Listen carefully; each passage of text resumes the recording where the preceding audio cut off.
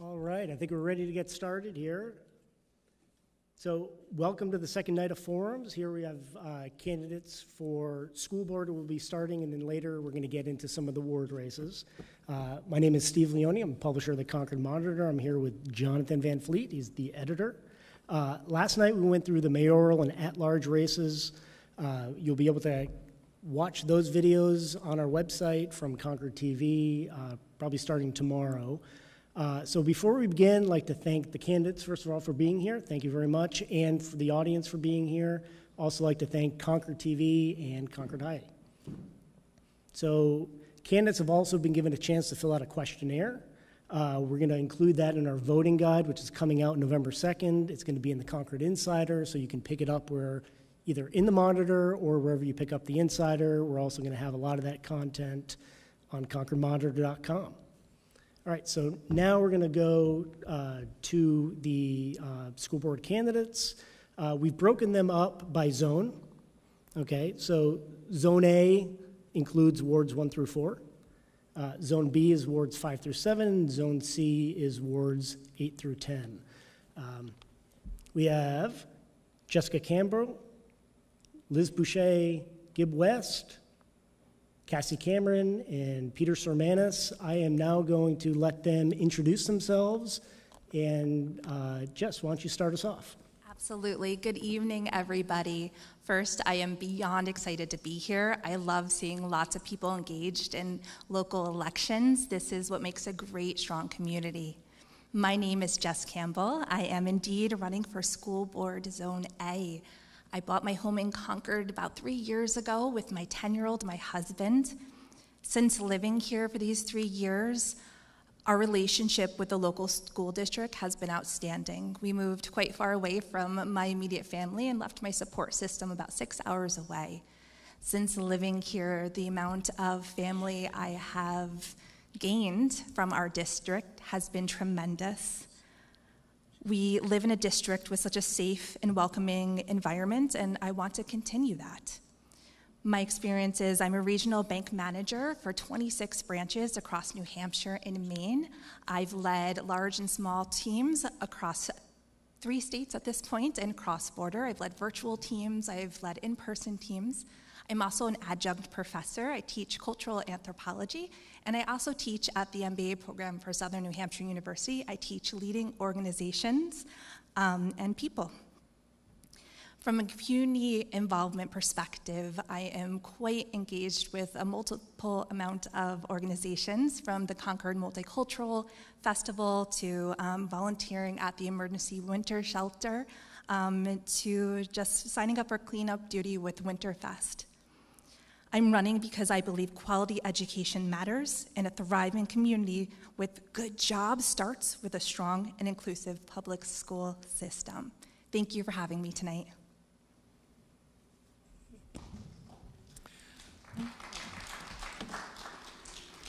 Thank you. Liz, go ahead. Hi, Concord. My name is Liz Boucher, for those who don't know me or recognize me. Um, I live in Ward 5 with my husband and our two daughters, both of whom um, are students at Christa McAuliffe Elementary School. I'm an active participant in student and parent engagement. Some of you know me from Park and Rec soccer coach. I'm also the former PTO president, founding member of CMS Cares and an in district food pantry.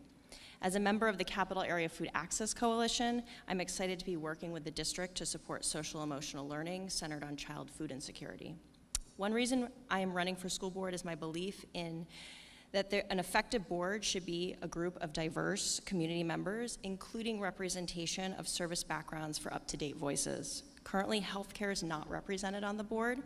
A balance in perspectives is essential for providing public oversight, especially when it comes to making evidence based decisions. I'm a district parent, someone who is good at identifying and addressing human needs, and believe my current career as a mental health dietitian is critical in serving the Concord School Board at this time.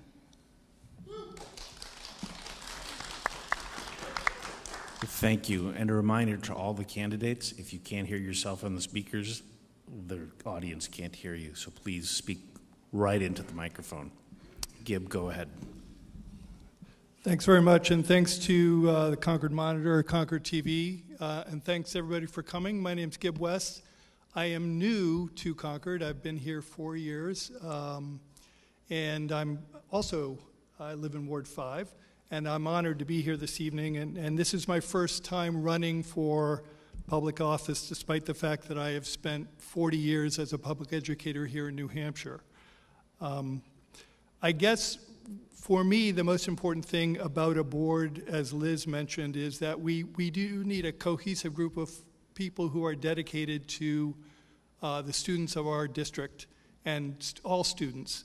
And for me, the vision of a quality school district is one that puts student learning first, one that focuses on quality curriculum and instruction and the relationships between teachers and students and maximizes that opportunity and the learning of all students.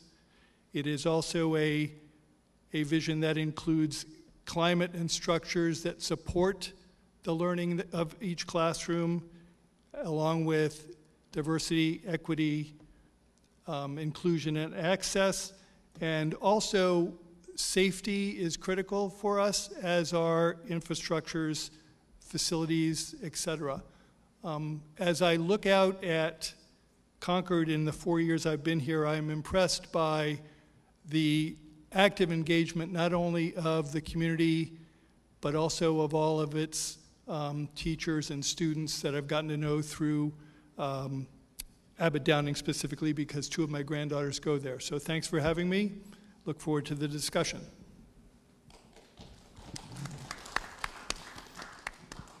Thank you. Go ahead. Good evening, Concord. My name is Cassie Cameron.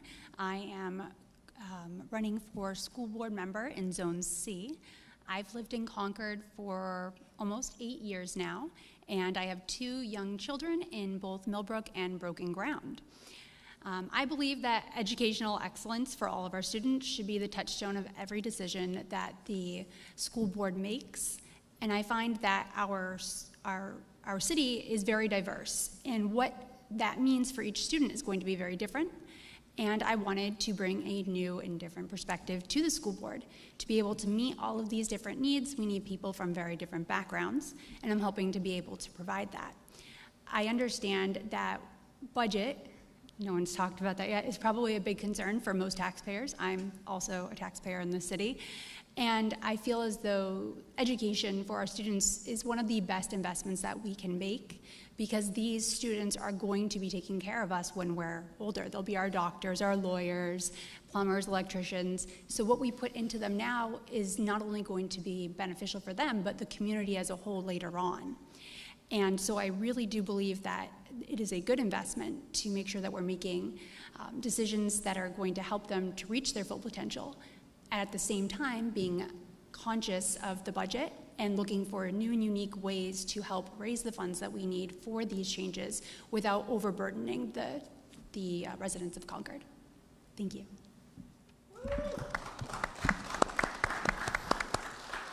Thank you. Go ahead, Peter. Hi, my name is Peter Surmans commonly known as Peter Sermanis to make life easier for everyone. I am running for Concord School Board Zone C, very simply because I'd like to give back to the community. Uh, my son was born here 19 years ago, been a resident in Concord for 21 years now. Starting from relatively moder, um, modern, modest Alton Woods, was enjoyable, moved out to Mulberry Village, and finally now I'm living at a home in Sewall's Falls. It's been quite a journey. And through that journey, it's been great to see how Concord has changed and how my son has grown up in the school system and learning to deal with how that works and learning to grow up and become a wonderful human being as far as I'm concerned. Now that he's done, I would like to give back to the community and basically concentrate on helping the children of Concord from the start to the end. I think that our school district can do better in serving the children I don't have all the answers. So, what we need to do is listen to everyone involved, from yourselves out there in the public to our children to our people on the board and also to our other elected officials. There is no simple solution, but we need to work together so that we can help the children of Concord. Thank you.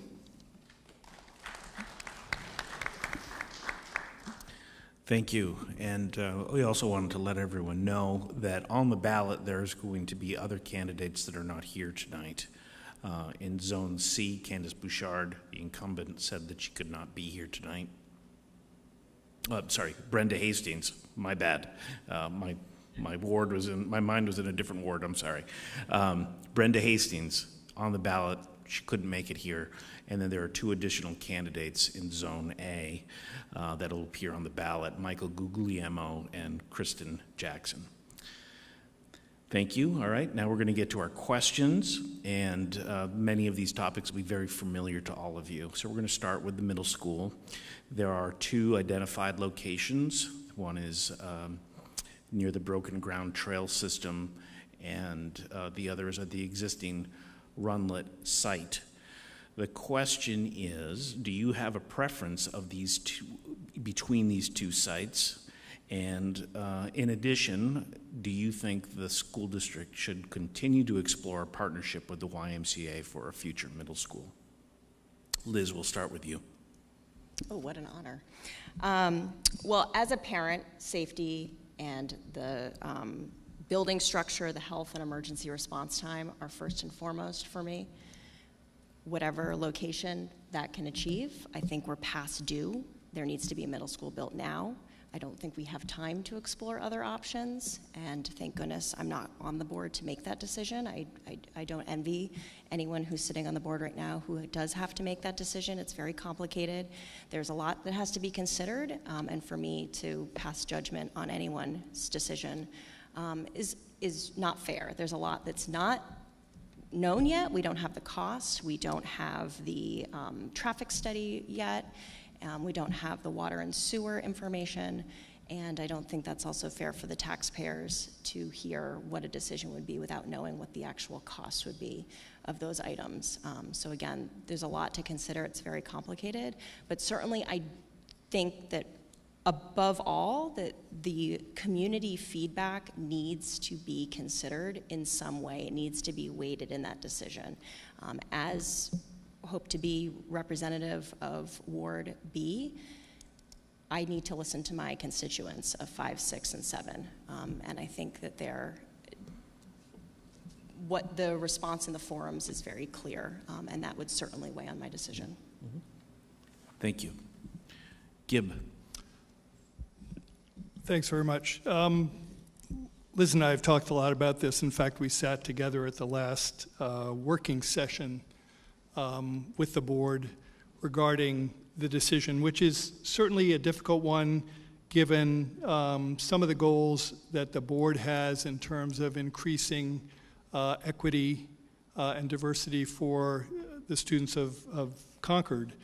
Uh, it's difficult to, as Liz noted, given the lack of information regarding cost and other elements of what's going on or we would need to go on near the broken ground site to make a clean determination. And I've expressed my concern to the board about, as Liz just noted also, um, the lack of inclusion of community input on this particular issue given the status uh, or the enormity of the decision.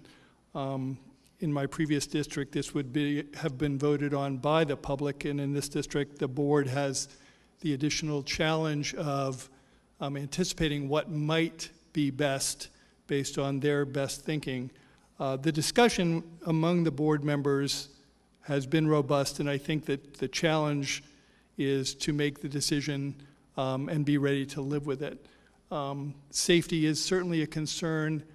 Um, the, the, the concern I have specifically is by being close to the high school those students who might access or advance their learning as middle schoolers have much greater access here if we stay in Concord. So thank you uh, for the question. Thank you. So my my view on this project is very specific. I think that we should move to the broken ground area. Um, I think that it's going to give us more opportunity to serve the, the community as a whole We have 3,016 residential units going up to planning board right now. 100, uh, 1,571 are underway at some capacity as of right now. That's going to be bringing more students into the district. It's important to understand that if we build something, we should build something that should be able to sustain the needs of the community for a longer period of time. It will cost us more in the long run if we have to build two facilities. That was something that was brought up at other meetings where residents had said, what if we build two different facilities to meet uh, both sides of Concord? But one of the issues that was brought up is we would have to double staff, and it's difficult to find custo- custodians. And so where that might not is already an issue before we've even started to build, we need to build something that's going to be future proof. And while we can't see what's going to happen later down the road, we see that there's an expanding amount of um, building going on as far as residential units. Now, one thing that I think is important is the school board is not in the business of real estate. Um, if we are not going to be using one of those plots of land or buildings, we need to sell it, and that could go towards offsetting some of the costs to the taxpayer. We don't need to hold on to this additional building and land just to sit there. Um, and so that's what I would think to do. Whatever place we decide not to build, look into potentially selling it, and that could bring in more homes to help make home prices and rent more affordable for the residents. Thank you. Peter? That's a great question as to where is the best location. I think we need to reach out to the community, get that. I do like both locations. There are advantages and disadvantages to both. Primarily, I think what we need to think of is what is most accessible for the students? Can they walk there? How can they get there? And let's face it, a lot of kids are going to be bussed in or driven in regardless. Where is that volume going to go?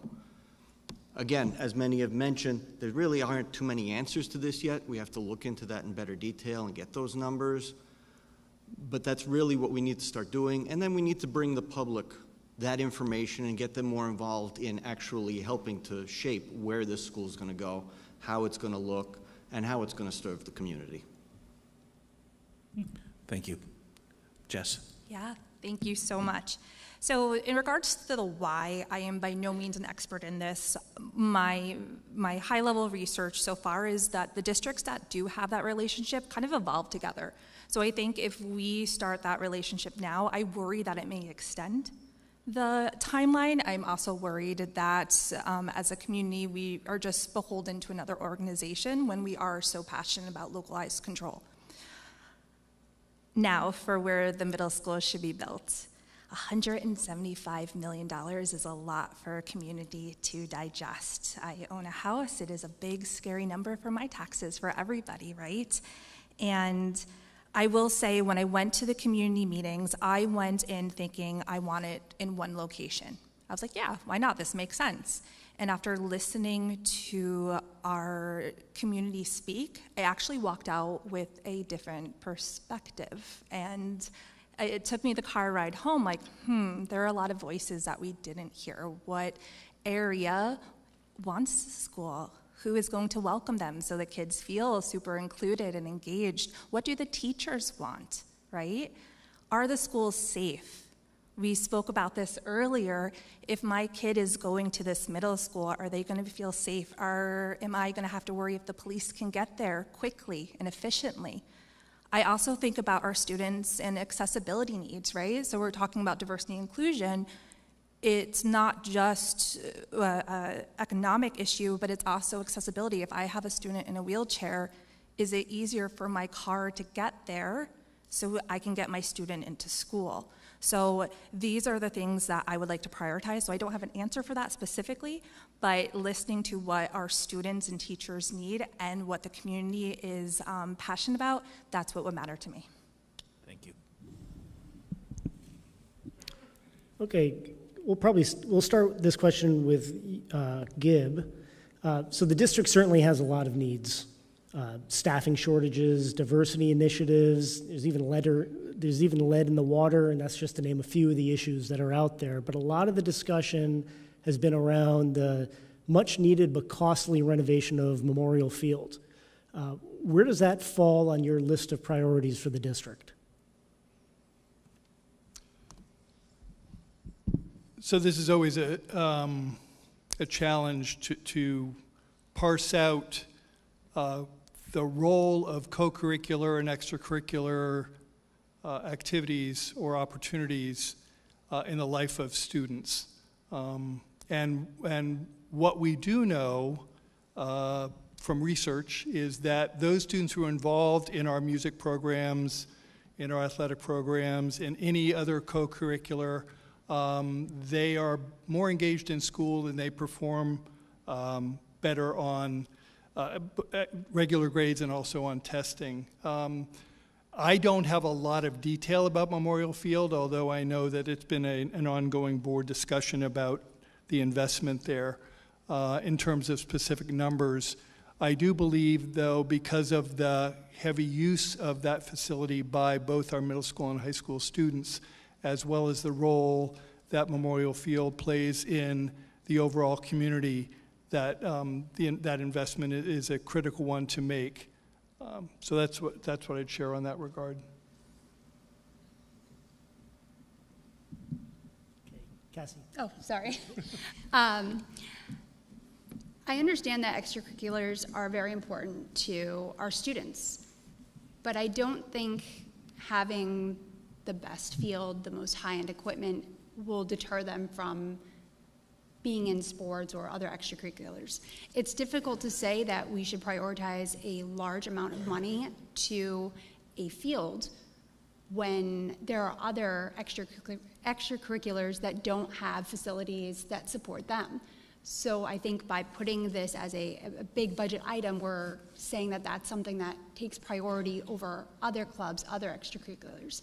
I think it would be better to look at making improvements that are going to impact safety, accessibility, but I don't think it needs to be as large of a upgrade to the field that especially when we're talking about larger ticket items like the middle school. We really just can't keep spending like we can print money. Um, so we need to start budgeting. And i think that was one of the things that really got me into wanting to be a part of local government is I think when I have a budget at home, I can't just go make some more money or go ask you know my boss for some more money because I ran out because I want to go somewhere. I have to find what can I cut to make this happen. And while I don't think we should completely cut it, I think updating it to make it so that it's safe and it can be utilized and working with the town as far as funding. I know they're, they're looking to put some funding to this, but I think that the budget and the overhaul should be uh, a, a lot smaller. Thank you. Hi, I, I do agree. I think the budget should be lowered for Memorial Field. I know I'm not going to make any fans saying that. Um, I remember watching my son marching on the field. He was a drummer. Um, the facilities there are, I'm going to say, adequate. They're not the greatest, but then again, we don't exactly have that kind of money to go out and get the greatest. It would be wonderful if we could. Let's build two wonderful middle schools. Let's just spend all the money that we don't have. It would be great if we could do that, but we can't. So I would put this memorial rebuilding or improving kind of at the lower part of the list of things we need to do. Because while it will benefit the kids, almost anyone here would say that yes, it will benefit we have to prioritize and we have to determine what actually will help the children the most and will give us the biggest bang for the buck, for lack of better terms. That was a great segue for me. Thank you. So, when I think about this, um, what is the best return we're going to get from our tax dollars, right? When I was speaking to actually a student that graduated from Concord High about the new middle school, she had made a comment I actually don't care if it's a big fancy school, I just want a good education. And that was really powerful. And when I think about things like Memorial Field, yes, we need the space. We need a safe, healthy place for our kids to go and learn, whether it's inside a school or outside at the end of the day, it's all going to impact our tax dollars, no matter if it's with the school or with the um, council, right? It's, we're paying for it. So, the, what's, what's important to me with this is the money that we do spend on the field, if we do this, Are we building a space that is accessible? Are we building a space that is prioritizing student enrichment?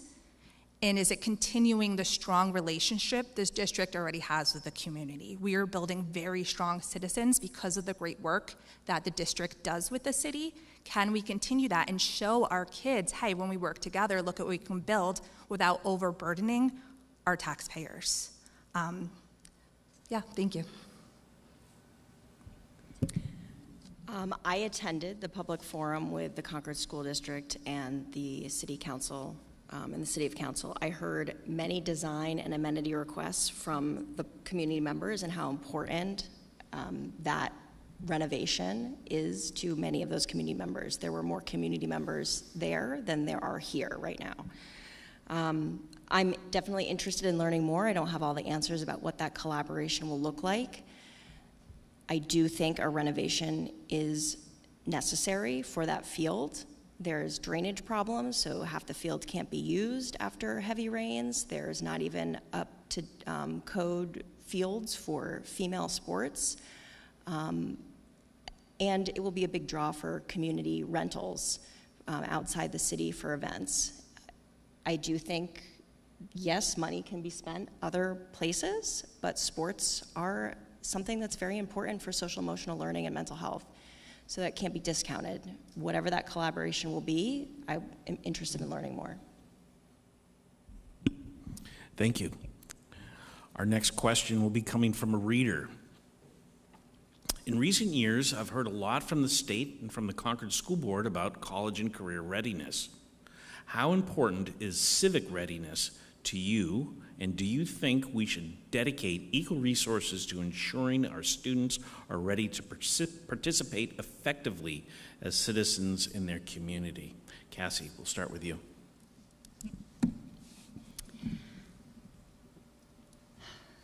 I think civic readiness is something that's very important for our students to have. Um, it's easy to say that that's something that should be taught at home, but unfortunately, not all students have family members at home that can teach them those types of skills. So I feel, at least in my education, that some of the civic readiness was included in the curriculum. You would learn it in civics class, American government. You would learn it just in your community and interacting with the staff and the other children. Now, one thing that I think is fantastic about schools is it's almost like a rehearsal for life they're going to come across things that they may not always be taught in class, but they'll get a response. They'll, something will happen, a teacher will talk to them about it, or a student, and they'll learn from that and build on it. I don't necessarily think that it has to be a specific class for civic readiness. I think it's about building a good community where they can rely on each other and help to build one another up. Most of our curriculum does have a lot of the necessities in it, and I think when we have a very strong community, we can help reinforce that and really drive that home. One thing that could be looked at is maybe including some more programs in the community for extracurriculars, teaching different life skills. Um, but I think as far as during the day, we have a good mixture, and it really just needs to more focus on building up the community so they have that support to reinforce. Thank you. I'm not quite sure if that's a fair question because what that means to each of us is quite different. And it's not really fair to just give an answer of, here's what we need. I think the schools, considering my son just finished high school, are actually doing a fairly good job. And I'd like to know what is missing from there. One of the concerns that I would say is that Concord High does a very good job of not necessarily telling every student, you need to go to college. You can do things right out of high school that you can create a career with. And I find that very encouraging because that also means that these people will stay within the city, stay within the state, and become productive members of the community. So I'd like to know a little bit more about what actually the question is and what they were looking for rather than that nebulous term. Mm. That's my opinion. We do a pretty great job at it right now. when I put my name in the hat for school board, of course, like everybody, right, you start talking to everybody, seeing what the community is asking for, and I am almost ashamed to say how surprised I was by how much good there is. I am very passionate about workforce readiness. Um, I worked on um, what's called Project Search, which is a program for high school seniors with developmental disabilities, and we work with school districts and businesses to get them ready for um, the job that they want. Um, we do a lot of great things here in Concord, similar. We have a project search here in Concord, though we work with the hospital. I don't think a lot of people know that. We um, have a fantastic program, the two by two by two, where we help students here at the here at the tech center to learn how to be a teacher, and they work through it with us and they grow with us. Um, so workforce readiness, civic readiness, I'm going to assume that this means learning about local politics, how it works, almost similar to um, like the Concord Leadership Program that we have, right, where we learn about our local government. That is critical. It is so hard to navigate local politics. You think it wouldn't be, but it is, right? So to simplify this, to make it consumable for our students so we can create outstanding future leaders, to me, there, you, you can't lose if you do something like that. But I would add financial literacy as well. So we know we're all passionate about inclusion, diversity, equity. We need financial literacy to help people understand the basics so they can start stepping out, so they can start learning and be more engaged um, with a different perspective. So great question. Thank you to that reader. Can I just clarify what the original question was? Yes. Um,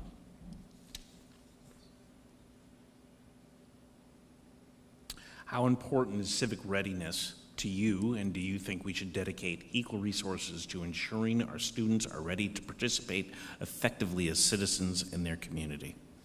Yes, I do think that civic readiness is important and should be included in curriculum. I hope that I, I don't know. I don't have, I only have a kindergartner, third grader, so I don't have all of what curriculums, what's included in the curriculums currently but I was part of the, f- the focus group for the district that was held over the summer for Portrait of a Learner and defining what a portrait of a learner is. There was a discussion between what is a what is a portrait of a learner versus what is a portrait of a graduate. So we were tasked at what is a portrait of a learner, which definitely is different than a portrait of a graduate. I think it should not be discounted what a portrait of a graduate should look like, and that should include civic readiness and civic engagement. To what extent, I can't answer that right now. Um, but I do think the district does a fantastic job with the opportunities that it does have, such as um, the competency based um, education that they do provide, internships. CRTC is fantastic. I was I, participated in a Leadership of Greater Concord, which I graduated from last year. We toured the CRTC, and I didn't have any idea what our school district had for students and how amazing that program is. Um, it's just disappointing that all students are not able to participate in it. So I think that the district is doing a lot of work towards that. I think there could always be more improvement anywhere in terms of expanding what that portrait of a graduate would look like. Um, but yes, I do think it's important. So I, I, I think, I don't think anybody up here or anybody who's going to be engaged in any support of the community isn't going to suggest that civic readiness um, is of critical importance as we particularly are finding a culture that's increasingly divided uh, based on politics, of which schooling unfortunately has become part of that part of that paradigm, I guess is the best word to use. Um,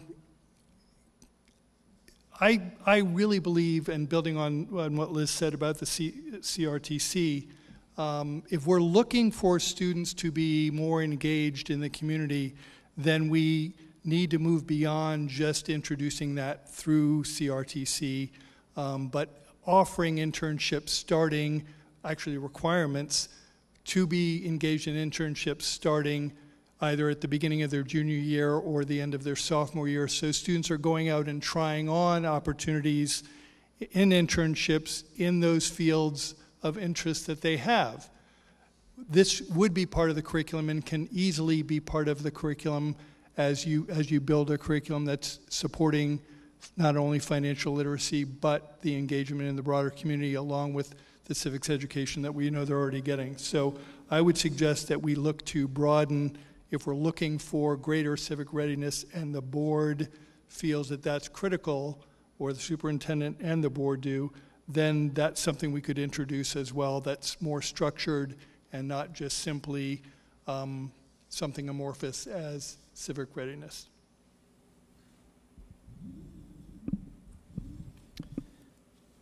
Okay, Peter, we'll start with you on this one. How will you navigate the differing perspectives within the community regarding parental rights and oversight in schools, particularly concerning matters such as library books, course materials, and the teaching of topics related to race, sexual orientation, and gender identity?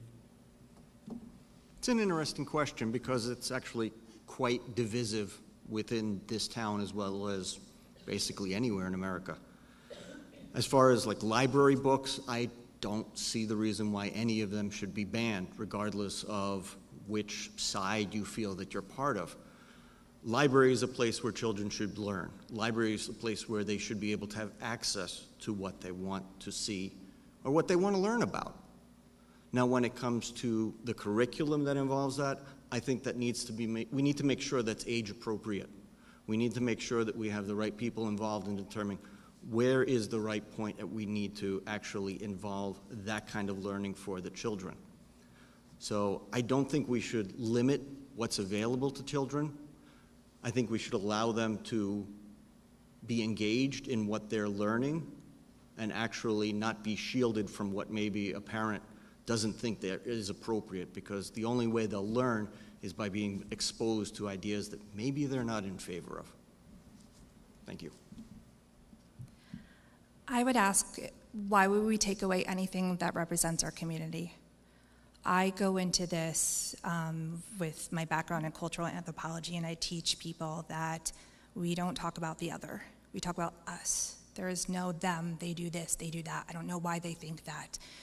I teach my students, no, it's us. We're in this together. And when I think about our curriculum, and when I think about our schools and the board, we're a nonpartisan school board. That's what we're here for. We're here to represent every single student. And if we start taking away resources or books or start making something seem negative when it's just the way somebody is, what are we teaching our kids? We're not being nonpartisan. We're saying that's bad, that's them, they're bad. That's not what we do. We're here to represent us, our community, all of you. Um, so I, I think that when it comes to those polarizing topics, I think it's sad that they're polarized. I think healthy conversations with parents and students to talk about, hey, what makes you uncomfortable about that? Maybe explain it more and go to it from a respectful place. That's what we need, is that healthy discourse. Thank you.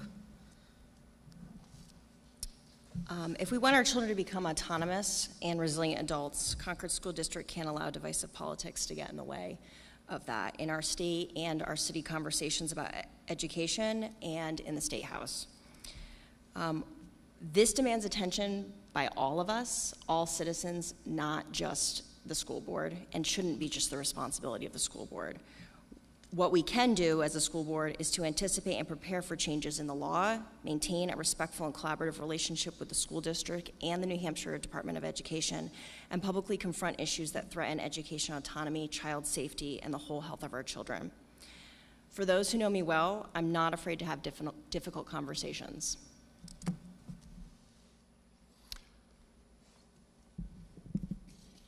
I'm going to date myself here. So, as an English teacher 40 some years ago.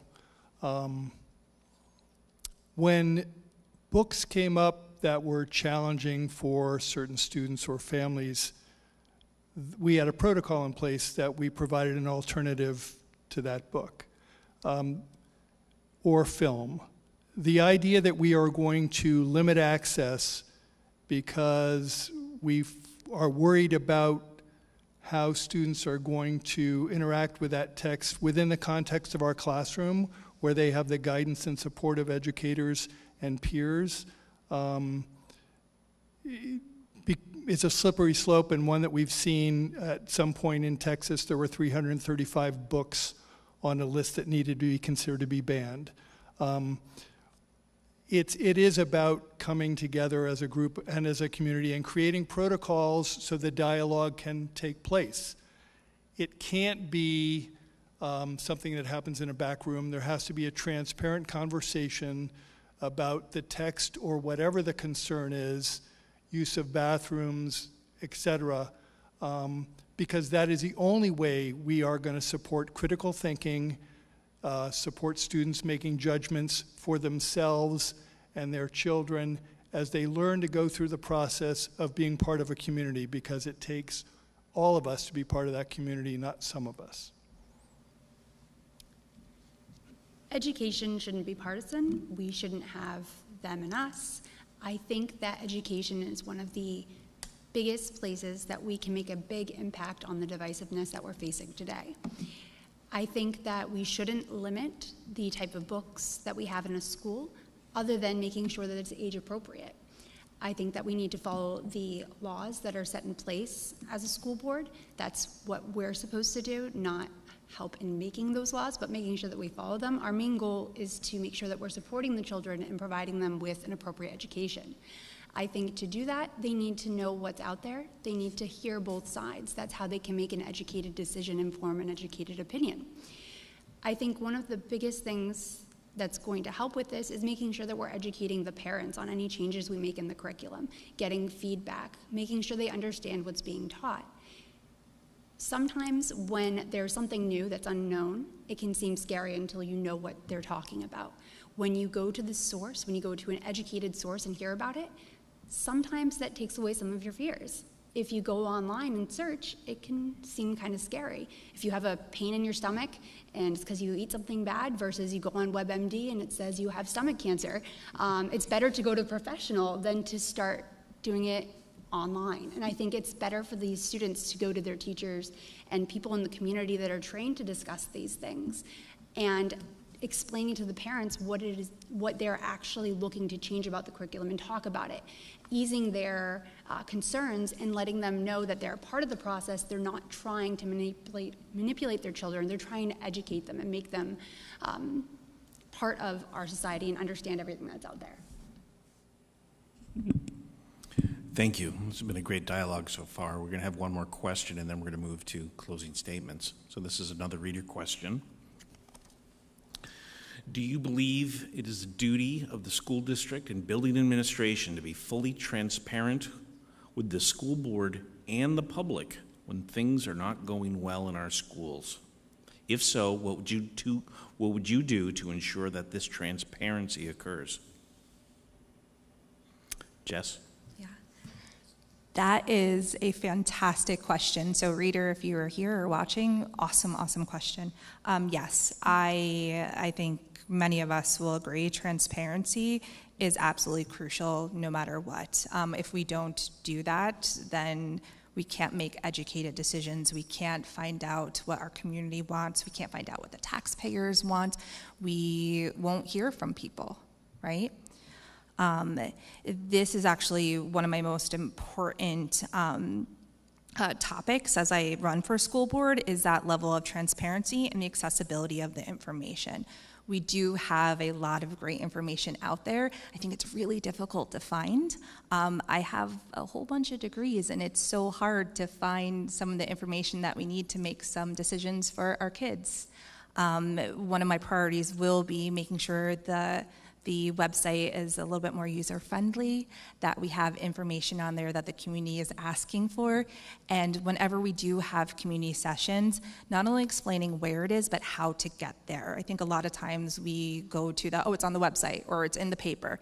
I think we forget some people don't know how to get there, right? Everybody's coming at it from a different level of experience. So I am coming from it from an educator perspective, right? We not only have to tell people where or, or um, how to get the fish, we need to teach them how to, that's the wrong things. We have to teach them how to fish, right? We have to teach them how to get the information so folks have access to that clear and transparent information.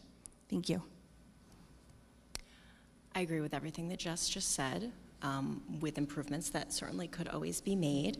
New ideas are always out there. Um, but with specifically with, guard, with regards to transparency, that transparency is so important because A, we are all the taxpayers who fund the school. So we all have a right to know what's going on in the schools for our, our tax dollars. And certainly there's different levels of right to know, I think. Um, you know, certainly if it's an employee concern, that's not our right to know about an employee's personal issue. Um, however, when it comes to the concern of siloing parents, siloing issues that more than one parent has, that can't be tolerated. As a school board member, I can only do as much of the, tra- the information that I have that's transparent from the district, right? And, the only, and once I have that information, then I can be transparent with the voters and the taxpayers.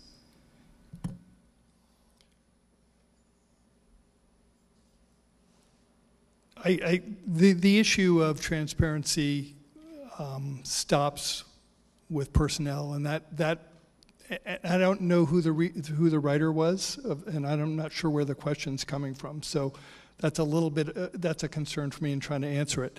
Um, board, the board cannot ever um, be transparent about anything that deals with personnel um, or students in that regard. And that I know has been, unfortunately, um, an issue for the history of Concord that everyone would like to forget. And I, if that's where this is coming from, then, then I think we need to let that go and understand that. Beyond that, um, we need to share the information and bring the community in because without the community, um, we don't have the support we need. The parents don't see the value of the school system, the, the wonderful school system that, that already exists and we'll, we'll no longer support it. They, if folks need answers, we need to give them answers whenever it's appropriate so that they can make the best decisions they can make for their students. Thanks.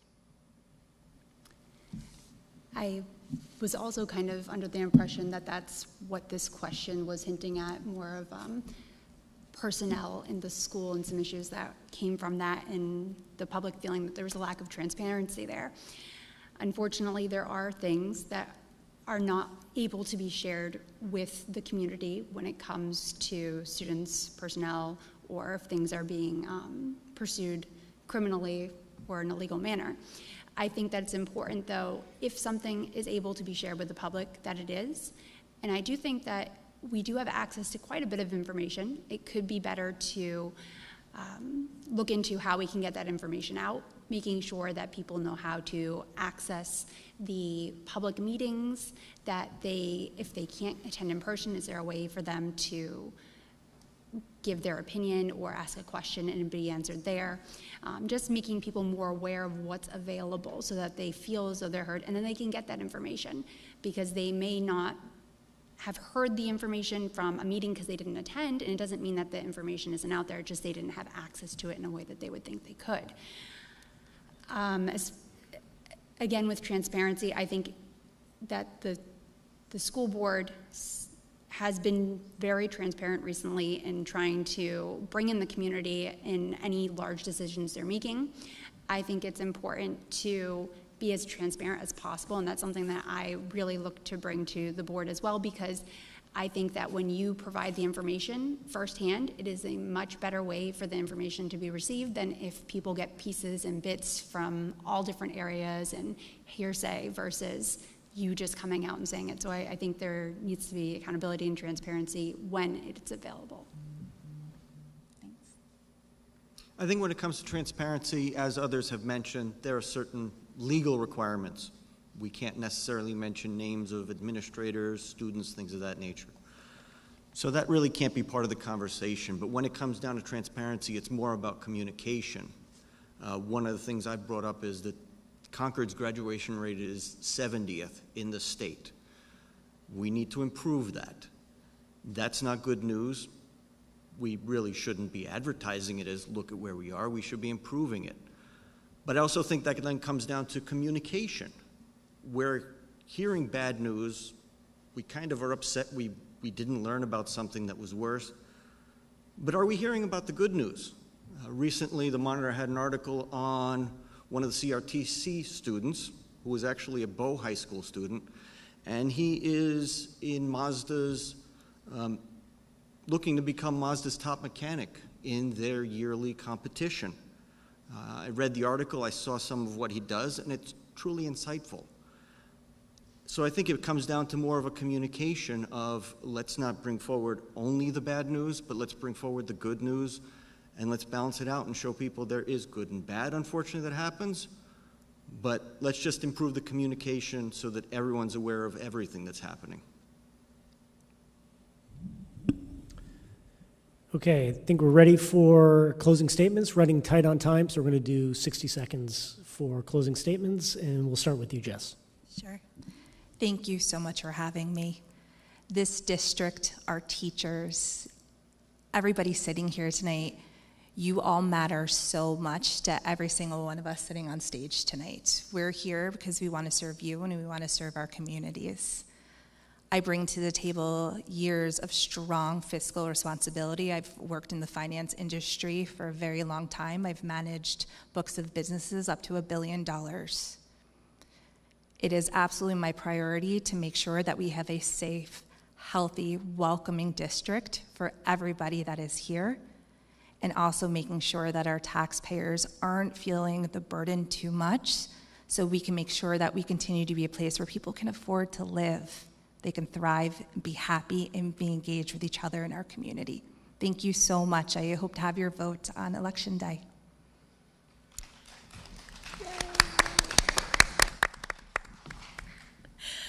Um, it's essential that Concord elect a school board member who's ready to tackle education and social, social challenges head on, call these challenges what they are, and make evidence based decisions for 21st century education needs. A vote for me is a vote for a current district parent, a new board perspective as mental health dietitian and with a master's in public health, and experience collaborating with Concord parents, district staff, and the greater Concord community.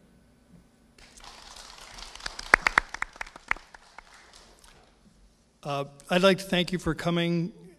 In, in considering who to vote for, I think uh, I've become aware that everybody up here is very, very motivated um, and excited to be part of, part of a solution to improving our, our district. Um, student outcomes are our priority, making sure that all students are making the gains that they need to make, making sure that all students have access to learning, making sure that we are providing students with the best curriculum and the best instruction, and supporting our teachers who each and every day walk into the classroom with the goal of making a difference for each student in that room.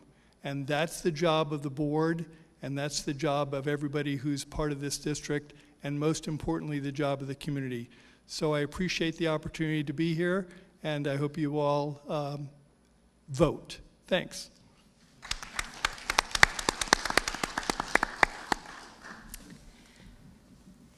Like everyone said before me, we all are very focused on our students having a great and well rounded education, and that is our goal. So I'm not going to touch too much on that.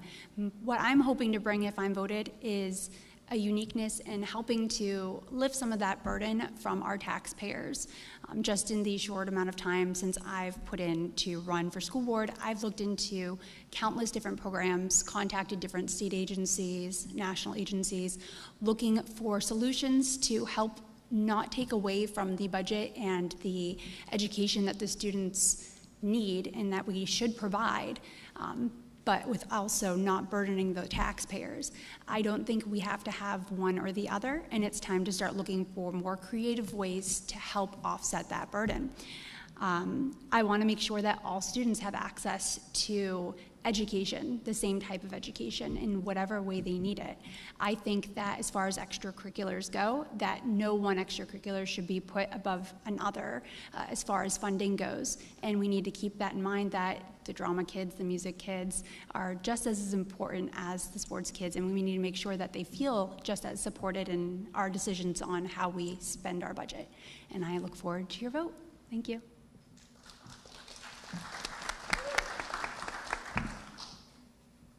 So thank you everyone who is attending. Thank you everyone who is watching. And thank you, everyone, for who is voting in the upcoming election.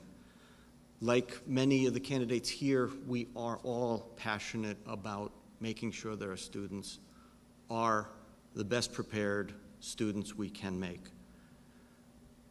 As someone who potentially could be elected, I would like to have your vote so that I can listen to you and hear your concerns, and then bring those to the general board so we can discuss it. I think if we don't get that input from everybody, that we're really going to be hampered by how much of an impact we can make as a school board.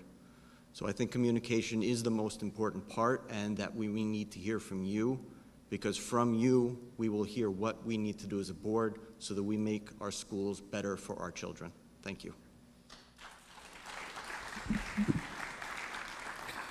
Once again, I'd like to thank all the candidates. Thank you for your time. Thank you for your thoughtful answers. This concludes our school board forum. We're going to take a brief break. I'd like all of the city council candidates who are in contested races in wards one through six to please come up. Thank you all.